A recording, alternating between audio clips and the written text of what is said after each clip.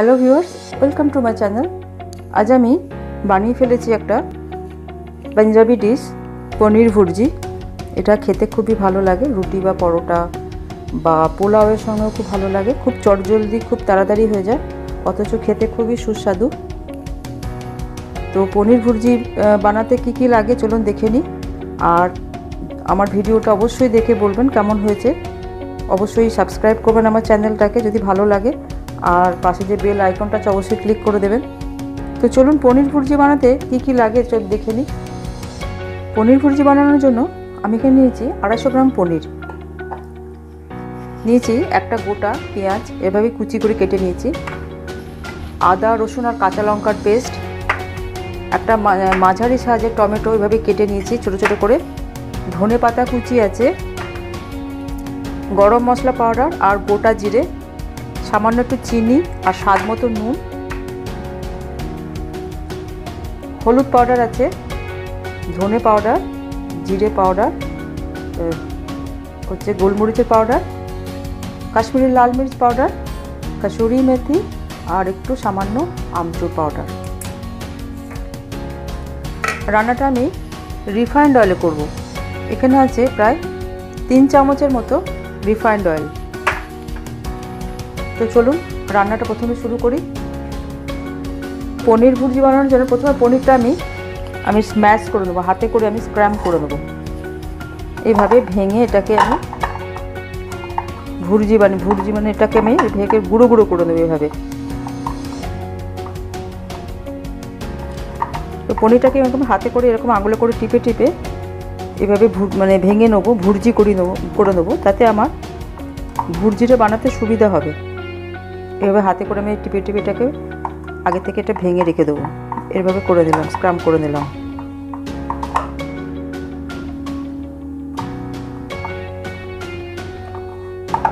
তো হয়ে গেছে আমার এটা পনিরটাকে এভাবে স্ক্রাম করে নেওয়া। তো এটা আমি একটু সাইডে রেখে দেবো। কষি দিয়ে অলরেডি ফ্রাই প্যানটা গরম করে নিচ্ছি। ফ্রাই প্যানটা গরম হয়ে গেলে আমি দিয়ে দেবো তেল।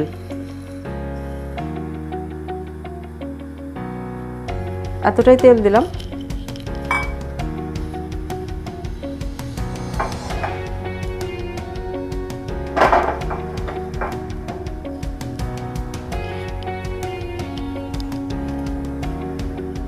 দিয়ে দেবো কুচনো পেঁয়াজগুলো।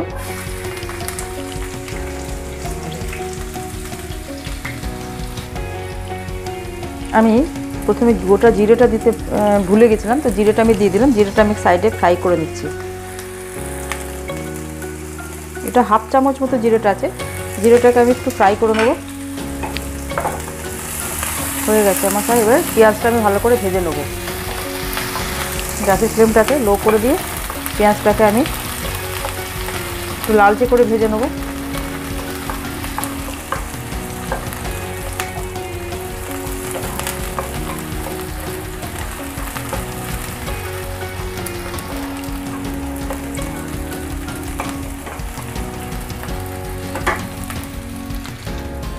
পেঁয়াজটা আমার লালচে করে ভাজা হয়ে গেলে আমি দিয়ে দেবো ওখানে এক চামচ আর হাফ চামচের মতো আদা, রসুন আর কাঁচা লঙ্কার পেস্টটা।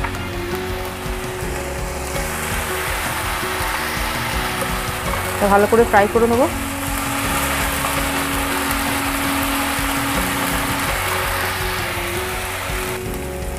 আদা, রসুনের পেস্টটা আমার প্রায় ফ্রাই হয়ে গেছে। ভাজা ভাজা হয়ে গেছে প্রায়।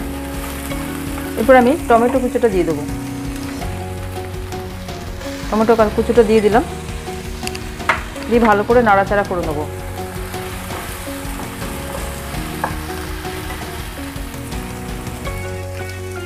আমি একটু নুন দিয়ে দেবো। নুন দিলে কী হবে? টমেটোটা নরম হয়ে যাবে এবং গলে যাবে। সেই জন্য আমি নুনটা দিয়ে দিলাম।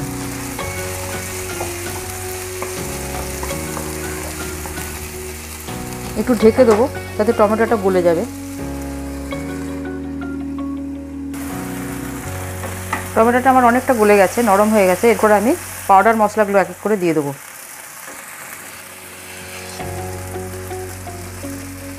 প্রথমে দেবো আমি ধনে পাউডার এক চামচের মতো জিরে পাউডার দিলাম, গোলমরিচের পাউডার দিলাম, হাফ চামচের মতো কাশ্মীরি লাল মির্চ পাউডার দিলাম। এটাও প্রায় হাফ চামচের মতন। দিয়ে একটু নেড়ে নেব।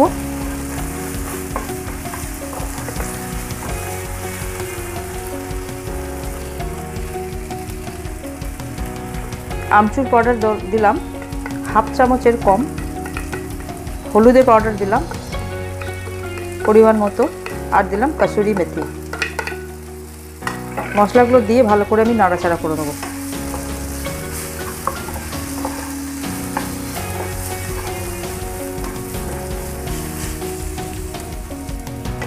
মশলাটা আমার কষানো হয়ে গেছে। এরপরে আমি ভেঙে এই ভেঙে রাখা পনিরটা দিয়ে দিলাম। স্ক্রাম করে রাখা পনিরটা আমি ভেতরে দিয়ে দেবো।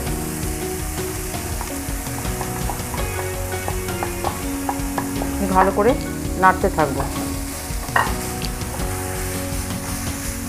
মশলার সঙ্গে ভালো করে মিশিয়ে নেব। সমস্ত মশলার সঙ্গে। পনিরটা দেওয়ার সঙ্গে সঙ্গে একটু পনির থেকে একটু অয়েল বেরোবে, তেল বেরোবে। পনির মধ্যে তেল থাকে। তো পনির থেকে একটু তেল বেরোবে।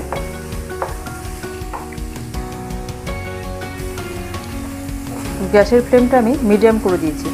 চ্যানেলে পুড়ে যাওয়ার চান্স থাকে। তো পনিরটাকে আমি খুব অনেকক্ষণ থেকে ভালো করে নাড়তে থাকব। ভালো করে মশলার সঙ্গে মিশিয়ে ভালো করে একটু ভেজে নেব। যাতে কাঁচা গন্ধ না থাকে। এভাবে নেড়ে চেড়ে নিতে হবে ভালো করে। যতক্ষণ না চারদিক থেকে তেল বেরোবে ততক্ষণ এটা আমি এভাবে নাড়তে থাকব। আর একটু করে এরকমভাবে স্প্যাটুলো করে যেখানে লাম্প আছে সেগুলো লাম্পগুলো একটু এভাবে ভেঙে দেবো।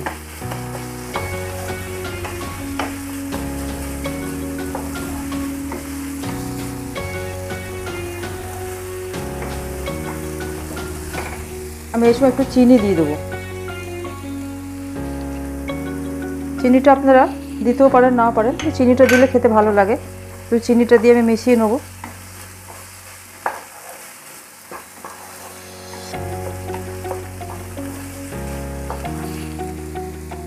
একটু ধনে পাতা কুচি দিয়ে দেবো, সামান্য। এটা বানাতে বেশি সময় লাগে না। খুব তাড়াতাড়ি হয়ে যায়। আর চট জলদি। হটচট করে বানাতে মন হলে এভাবে পনিরটাকে এভাবে হাতে করে স্ক্রাম করে এরকমভাবে মশলা দিয়ে নেড়ে চেড়ে নিলেই এটা পনির ভুর্জি হয়ে যাবে আর এটা পরোটা বা রুটির সঙ্গে খুবই ভালো লাগে।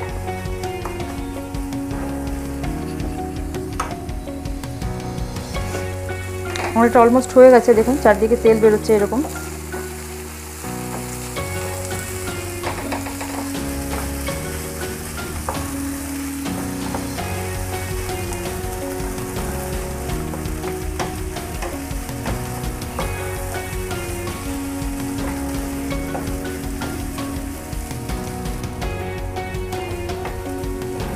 ওটা আমার হয়ে গেছে।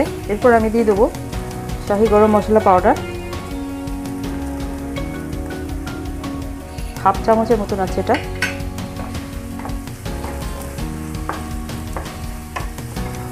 এবার আমি গ্যাসটা অফ করে দিলাম। দিয়ে এটা খানিক্ষণ ঢেকে রাখব।